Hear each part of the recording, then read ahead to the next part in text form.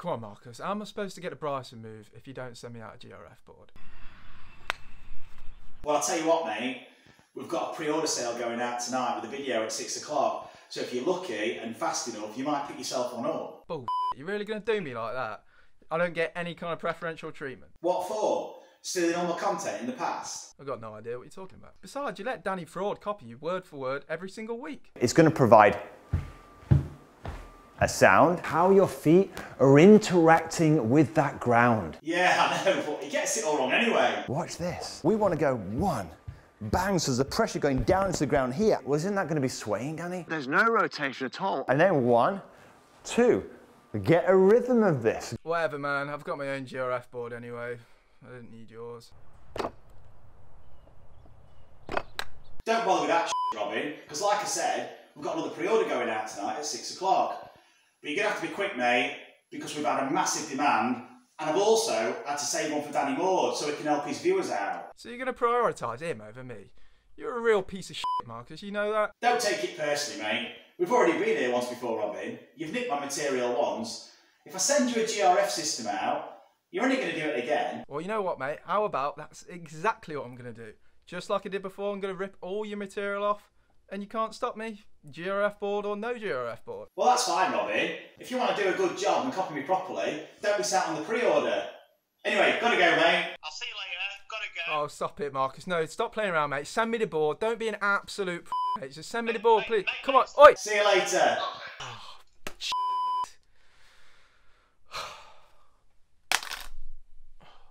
When was that pre-order again? Mate, the pre-order's out now. Links in the description. Good luck. God, what an absolute. There's a lot of hype at the moment about Bryson DeChambeau and what he's done in the game. He's transformed performance levels to a new level and it's causing a lot of controversy. But in my mind, I think he's really pushing the boundaries and in respect of biomechanics, I think it's a really good thing.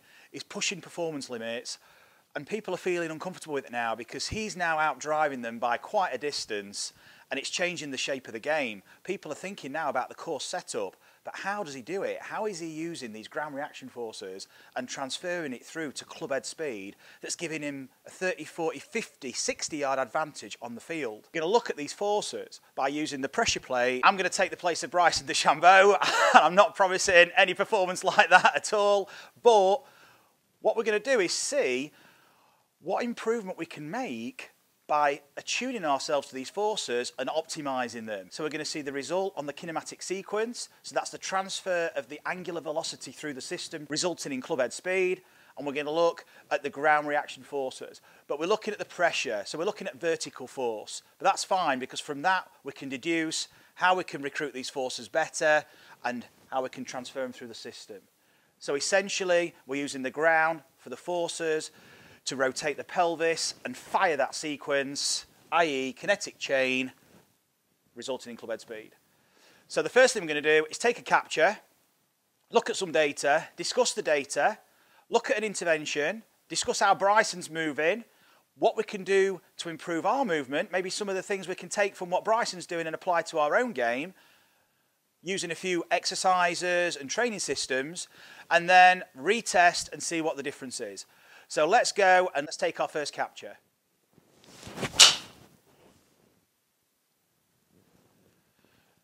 So got a good capture there. Real strike, really good strike. I'm surprised actually. Made a really good swing. Let's have a look at the data.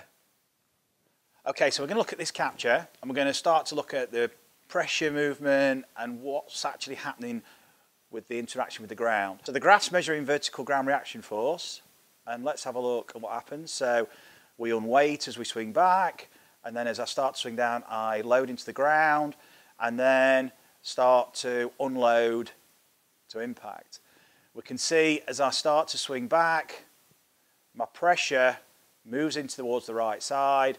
I've actually got a bit of uh, negative torque going on there. So I'm actually, I'm, I've got a bit of counter torque. So I could be using that torque better. That white line, you can see that horizontal white line could be rotating clockwise, but it's not. It's going to in a minute. There we go. Now I start to create the clockwise torque. Up to the top. I've got pressure on the outside of the right foot as I'm unloaded. Now my pressure starts to shift. This is starting to create that elastic stretch. But really my pressure's not. It's moving early to the left side. But as I'm starting to swing down, my pressure's really not far enough left. I've moved onto the balls of my feet, ready to unload, but my left arm is below parallel. So really this is a little bit late unloading. I'm now going to start to push off the right, but there's not enough. You can see the white horizontal line there. That's the line of pressure. That should be rotating to the left. So I'm not really using torque from the ground. So this is a lot more upper body movement that's really providing this club head speed. So I need to really sharpen this up. So as I, here we should be, that white line should be really rotated counterclockwise, but it's not till after the ball. So I'm not recruiting that torque in the downswing. And I'm unloading really too late. So by the time, you can see here on the graph, by the time I get to the bottom of the graph, I should really only be mid downswing, something like that, but I've, I've already hit the golf ball. So I'm not unloading early enough, I'm not using enough torque, and I'm really having to use my upper body strength. And it's possibly why I've been injured in my left shoulder as well, as I played more golf. So not really recruiting the ground enough. So what we're going to do, we're going to talk a little bit about what Bryson's doing, what we can do to tap into some of those movements that are going to recruit those ground reaction forces and transfer them through the system. So we're going to use the Zen GRF board and configure it in such a way that's going to optimize this movement with the lower body and allow us, or just afford us the opportunity to improve the kinematic sequence. So I'm going to place this in the anterior-posterior direction. So basically front to back with the right foot, my trail foot. I'm Going to use the disc under the left. So we've got the rotation disc under the left foot, GRF board under the right. Now what's essentially happening, okay, when we swing back, is I'm going to bang the board towards the heel. That's going to enable me to start to sequence the backswing. Once I've got to the top, we're going to start the downswing. Naturally, we're going to be flexing. But then, in order to get the power, we're going to extend. But to extend, I'm going to bang the board forward. And in doing that, my left foot is going to rotate towards the target. And it's this movement, which is essentially externally rotating the hips, which allows me to extend. It's allowing me to unload from the ground earlier. And we know from the graph earlier that I'm doing this too late. So by doing this earlier, I can extend. We interrupt this video to bring you an announcement from Marcus's favourite YouTube channel, The Golf Duo. so, guys, it's here. This is the winner of the GRF board, guys. Oh, it's exciting. The winner of the Zen GRF board is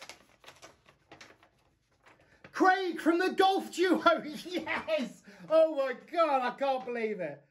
Oh, well, I mean, it's kind of expectant, seeing as I am Marcus's favourite student. Thanks, Marcus. no, unfortunately, I'm not the winner. but congratulations to the winner. Rip, here is your comment. Congratulations, buddy. Thank you very much. And I hope you enjoy it and the kids enjoy it and all of that stuff. Thanks, guys. Because the pelvis doesn't rotate by trying to rotate the hips, the pelvis rotates as a result of using the ground this way. So my pressure is moving towards the ball of my right foot, and at the same time, my left leg is externally rotating. And it's this movement that creates this pelvic couple. So the pelvis rotates faster, the center of mass is elevated. So this is enabling me now to transfer this speed much, much easier through the system. So we've got the forces created at the ground, transferred through the body to the club head. So a few swings, very simple, back and through. So I'm just getting a sense of how I'm using my lower body and timing it. Where is the club when I'm creating this movement with the lower body? This movement is essentially creating the downswing. It's essentially releasing the golf club. And the earlier, for me, the better. I can unload, accelerate it, and maintain that acceleration. Whereas I was getting a drop off because my hips were essentially moving towards internal rotation, which meant I was sliding, and that would prevent my pelvis from rotating. And then my left arm has to abduct off the body to get some speed, and it's not that controllable. Okay, so my swing's heavily dependent on timing and rhythm. And as I've got older, a bit shorter, so it's a bit easier to control. But that's not really what I want. I want to be getting some more distance, DeChambeau style. So what we're going to do, we're going to start to tap into this force, feel that propulsion. This is right side propulsion mechanics, which is elevating my pelvis, but at the same time, it's rotating it. So this is giving me the feel of that movement. What we're going to do now is we're going to look at the pressure plate. So you're going to see the pressure plate data as I'm now creating the DeChambeau move. So propulsion, pressure moving from heel to toe. It's actually creating almost like a snake pattern, similar to the gait cycle, where we're na naturally unloading, loading, and then unloading. And we're using propulsion mechanics to unload. But to unload, we have to extend, and to extend, we have to externally rotate. So we're actually not moving into internal rotation and driving to the target, contrary to what a lot of instruction has told us. It's actually the opposite. We're pushing, and we're using the balls of the feet, the first and the fifth met head. We're actually pushing, and this is allowing us to rotate the pelvis, providing the left leg's externally rotating. Now, using that exercise we've done with the board, is tapping us into this movement without even thinking. Because this is actually a natural, primitive movement we make when we throw or punch or use a, a baseball bat or a tennis racket. We've got these movements. Evolution has equipped us with these. So we don't have to fight them or think about them. We've got to let it happen. But all we're doing here is raising awareness. We're just attuning ourselves to enable ourselves to literally habitualize ourselves so the nervous system recognizes it. It's a recognizable movement it's going to let us use it.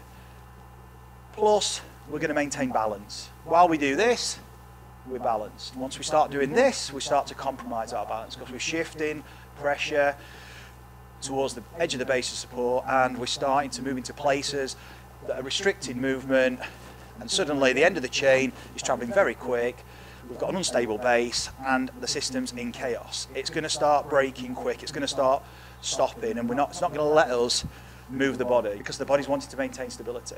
So, we're going to get this movement here from the board. Let's see how we go. We're going to take another capture.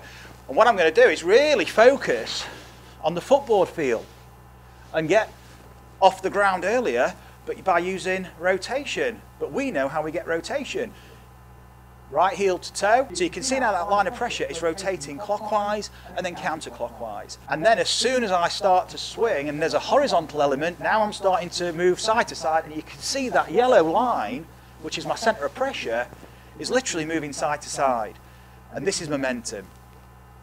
And what I'm going to do is I'm going to move that quicker. So that pressure is already way left before I even start to release the club. And then the DeChambeau move kicks in and we're good to go. And let's see if we can get that speed up. Let's see if we can get that kinematic sequence. So I'm going to hit a shot now and we'll capture.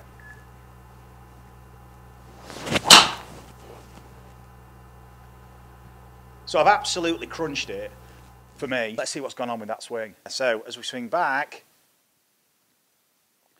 now I've got the torque straight away, working in the direction I'm swinging. Now I start to load. Pressure's moving earlier. I'm moving onto the ball of the foot with the right foot. When am I going to use the torque? There is some. The pressure's in the left side. And I've unloaded. You can see here I'm at the bottom of the graph and I'm not at the ball yet. So I've unloaded a lot earlier. I could be using more torque. Need to get the left leg extended and rotated, but it's trying. So let's see what the maximum ground reaction force was. 2012. Let's just compare that. Here we go. Look at the bottom swing. What did we get to? 1,913. So 2012. So I think I've created an extra 100 newtons of vertical, of potential vertical ground reaction force because that's loading. And then by the time I get into impact, so I'm down to 1,058 newtons just before I'm about to hit the ball. Let's have a look at the top graph and see where I am. So 109, 109 unloading much later. Similar position. So before, loading, maximally there. Later, 1,913 newtons, but it's very late. Unloading, I get to 1,058. That's the lowest I get to. So I've not really unloaded that much. Probably, what's that? What did I get to? 1,000. That's, that's 900 newtons roughly. Whereas after using the Bryson move, or my version, my interpretation of the Bryson move, it ain't the Bryson move but it's getting but it's my interpretation of it. It's i'm starting to use my body in a different way. You can see now i've got at the top 1973 and then as i get to the golf ball now i'm at the bottom. So i'm, so I'm in the similar place but now i've only got 610 newtons. I've actually unloaded rough just over 400 newtons more after now with this move. That is potential speed through to the club. It's through impact I am unloading, whereas at the bottom, so I'm still not unloading. So I'm really just using my arms there. Whereas on the top, afterwards, after using the GRF board, I'm continuing to unload because I'm externally rotating. I'm, the pelvis is rotating. Centre of mass is lifting. So we've got more transfer of speed through to the arms. So I hope you've enjoyed the video. Um, you can see from the comparisons the difference that that exercise made. Focus primarily on the lower body movement and how we can improve those forces, improve the timing of them, and ultimately create more opportunity to get force through to the golf club. So if you're interested in what the GRF Infinity Training System can do for you, why not take a look at the link in the description all the details are on the side and you'll be able to explore these forces just the way I have and see what a difference it can make for you in your golf swing. And don't forget, keep a lookout Friday night, 6 o'clock for part two to see how these improvements can translate into improving the function of the upper body and ultimately transferring that speed to the club head.